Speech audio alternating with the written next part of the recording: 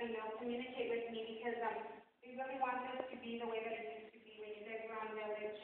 You know, a lot of people heard about the center, there was more than thirty-something members, a lot of them stopped coming because they can't go all the way to Apple Valley, and we were, you know, they were loaning us the gym. So here, hopefully, this is gonna be a good start, even though it's small right now, hopefully we can knock that wall down, you know, but we just need everybody to go together. And like I said, the first thing that we need to do is turn in our application this and try to file the nonprofit status. If I'm unable to do that, then we're looking at a different type of structure for this, and we won't be able to get those big donations from like the car dealers